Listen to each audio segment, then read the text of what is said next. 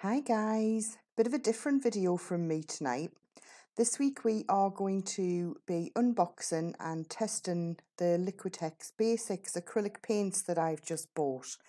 As you can see there they come in a really nice range of colours.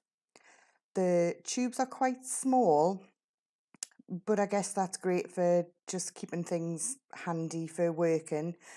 Uh, a lot of these colours you're not going to use an awful lot of anyway um, so as they run out, you can just replace them with the bigger tubes of the ones that you know that you are going to use. Uh, they are four trays and they are in trays of 12.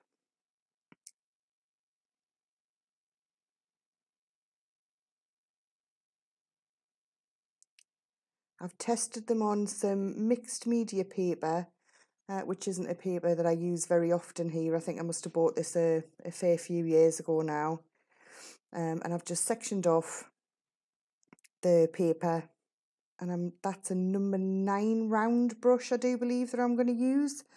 I used the brush damp, not wet, not dry, just damp and I just kept washing off in between, giving it a little wipe down.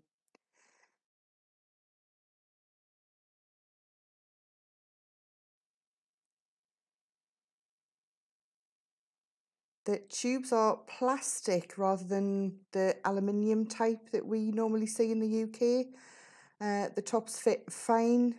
Um, the light fast details are on each tubes as well. Uh, the Liquitex basic range does have quite a good light fast rating. So any of those folks concerned that it might fade over time, you should be fine as long as it's kept in, in reasonable conditions.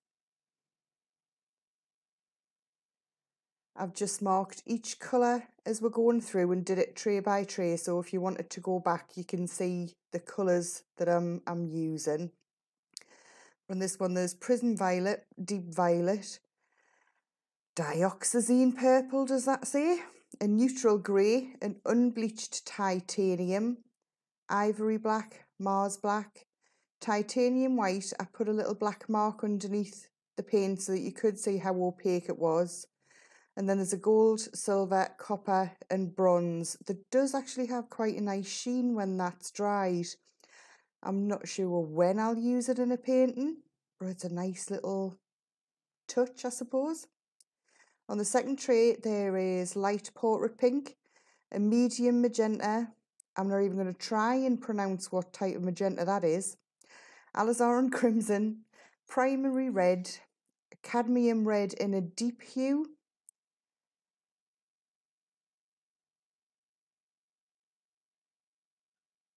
and crimson, a cadmium, cadmium red, sorry, in a light hue and a medium hue. There's also a cadmium orange hue, red oxide and burnt sienna.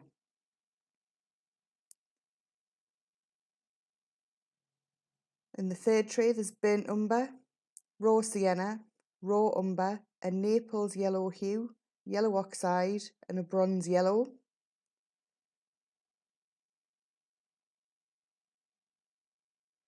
Cadmium yellow, cadmium yellow in a medium hue, cadmium yellow light, primary yellow, brilliant yellow green and light green permanent.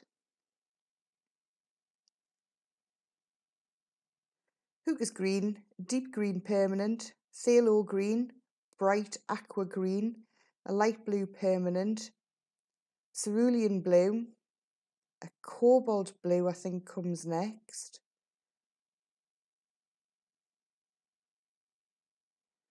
Yep, and a primary blue, phthalo blue, light blue violet, ultramarine blue and a brilliant purple. I do think there's a quite nice mix of colours in this 48 set. Certainly a lot of good earthy tones uh, and probably enough to get you started. I think I would like a, a Payne's Grey next time I make a purchase. I do like a good Payne's Grey.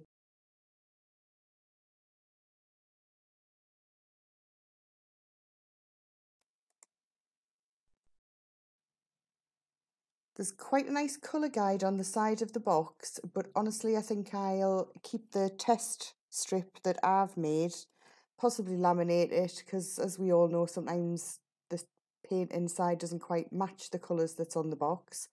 I hope you found that useful and I'll see you next time. Bye for now.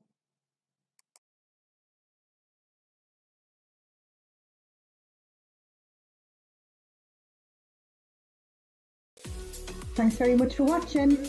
Don't forget to like the video and please consider subscribing to keep up to date with future videos and tips. If you've got any questions, please drop me a comment below. Bye for now.